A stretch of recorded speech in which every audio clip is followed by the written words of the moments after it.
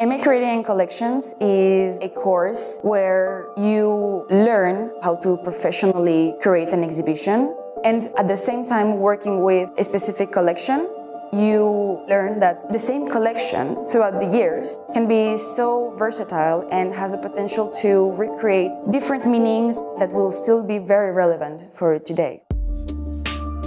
As part of the course, we are curating an exhibition at Chelsea Space, Who Has Seen the Wind, Women in Ceramics, where we display many works from the ILEA collection, but also contemporary works. The Inner London Educational Authority collection is part of UAL, and every year, students from these masters are requested to do an exhibition with those objects. We're separated into groups, offline group and online group. I'm from the offline group. The main idea was taken from a poem. We wanted to give recognition to women and more particularly ceramists because there's many in this collection but no one has ever worked with those. We are curating every single element of the exhibition. So we all work separately as like different groups. We were split into spatial, object and audience and we all worked collaboratively in those small groups. Started inviting artists and like working through the ILEA collection. Getting artworks to get here, creating a floor plan and displaying all the objects accordingly. And also the audience part, talks, workshops that will bring further discussion to your exhibition. So the exhibition is divided in three parts. Whisper, Echo, Chorus.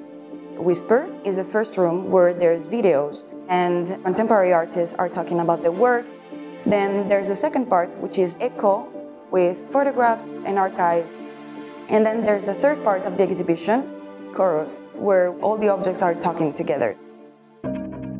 I am collaborating with my Curating and Collection fellow student to curate an online exhibition called Playtime Commodity. The exhibition has objects from the Camberwell ILEA collection as well as uh, contemporary artworks.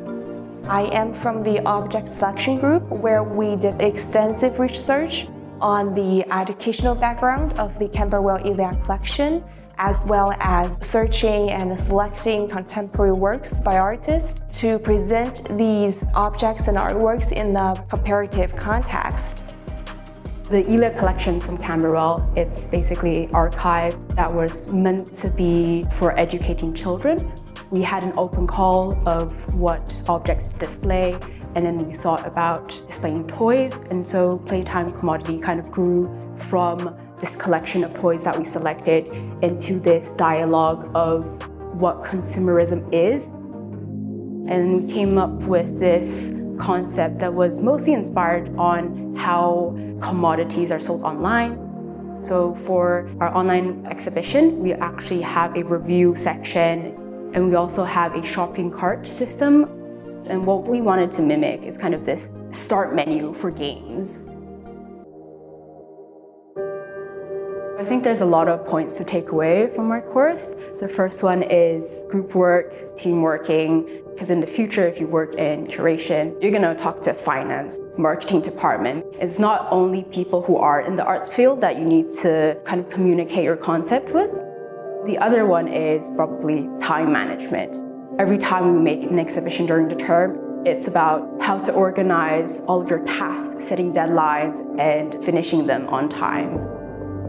For me, the best thing that I've had on the course is the external bursary to curate an exhibition with my colleague in UAL. I gained so much experience from like submitting a proposal, doing the budgeting, um, working with artists across the college. It was just the best experience I've had so far in all of my career really.